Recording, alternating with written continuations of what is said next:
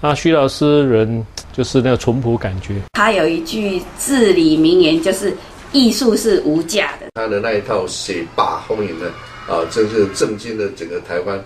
我在家己拍台湾的山的，感觉兴趣，会拍玉山，会拍合欢山。所以我想，就是以写罢为主。我感觉在黑线里白天，平常光线就进不来。那我想一个办法，就是等它下雪下得很大，大概一两公尺的雪，那利用那个雪。反光，树木把反光的照亮，所以我们就在那边扎营三天，三天扎营三天，为了拍黑线。后来雪霸国家公园特地为了邀请我在那边展览，我感觉很容易。摄影界几乎都会到国外去参加摄影的。一些荣选，国际性的一些荣选来说，你要拿到这荣选是不容易的。有一天，他说要去参加那个英国皇家摄影学会的那个考荣衔，然后我帮他翻成英文，然后帮他用快递寄到那个英国去。后来就准备去投皇家摄影协会，所以这个一套就寄到英国去。我这次我拍的特色就是在原台湾的元博，那这一张是在合欢山，就是等等等到它日落以后，日落以后太阳下去，它改变它的颜色的色彩，它没有加加镜头，什么都没有，它自然的颜色出来。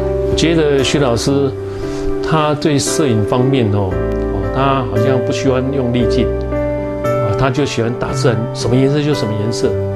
有一天，他拿一封信给我，我看我就在讲说：“哦，徐老师，恭喜你是优选第一名，你的你的作品呢，他们很喜欢，所以呢，把你的作品留下来，在英国巡回展览一年。英国皇家摄影学院邀请我这一套。”在英国巡回一年，那我有这个荣誉，我感觉很满足了。我常常看这个电视的哈，世言师傅在电视上讲这个法理，那法律跟生活上很有相关的，听得很容易懂。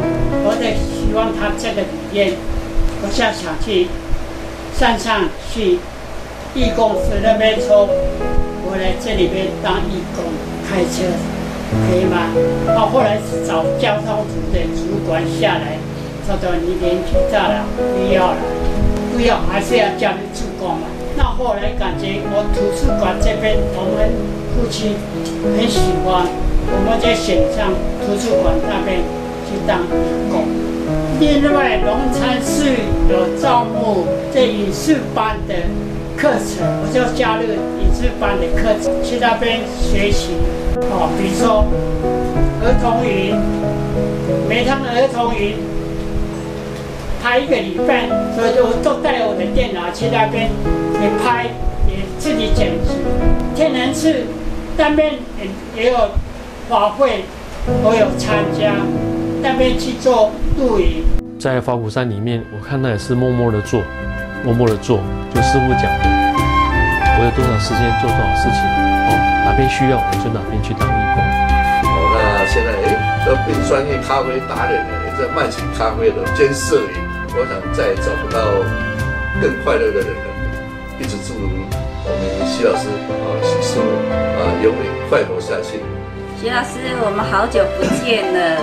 好想念你哦！前几天还在那个 FB 上面看到你 po 的相片，我还看到师傅跟你一起去卖咖啡豆，我觉得真的很羡慕你们夫妻这样子这么恩爱，间谍情深。祝福你身体健康，诶，就是一切都很顺利这样子。